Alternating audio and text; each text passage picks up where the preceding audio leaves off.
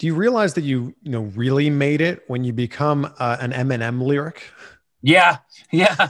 Either either you really made it, or now you've got beef with somebody that you know you look up to, and you know you're like, what the what what happened here? I was like, and and at first I was kind of freaked out, and then you know, of course, nowadays I, I think it's amazing because that song is one of my favorite songs, and then to have my name in it too, it's just like I did something right or wrong.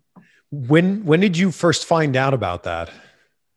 Uh, we were in Miami. I think we were doing a show in Miami. We were on the bus coming back up to Orlando, and we were on the bus, and I started getting all these uh, on my. I think I think I even had a no, it wasn't a pager. I think I was getting text messages, and everybody was like, "Yo, have you heard the new Eminem song? He makes fun of you in it." And I'm like, "Yeah, well, he always does. NSYNC rhymes with everything, you know." And they're like, "No, you." I'm like, what do you mean me?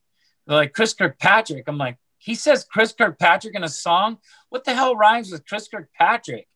And then I heard "Get Your Ass Kicked," and I'm like, oh yeah, I guess that does rhyme. Did you ever talk to Eminem after that? Not really. Yeah, I guess you guys would cross paths a lot. You'd be at the same award yeah, we shows.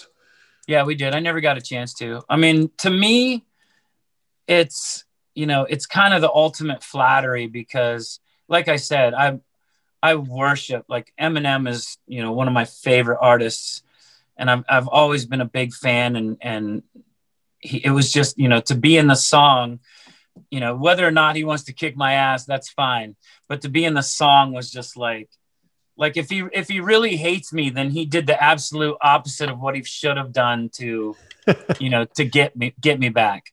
Were you like? Why me? There's five of us in this group. Like, why? Why well, I think I think I had to I had to like retrace my steps and figure out why he picked me out. And I think um, the only thing I can remember is that uh, Joey and I were hosting TRL, and I knew TRL. Well, That's when TRL was in its heyday, and, and uh, I think we were talking about him, and I, and I said something about um, how. Uh, he was like the crocodile hunter, like he liked the controversy, he liked to get in you know, with the crocodiles, and that's why people listen to him.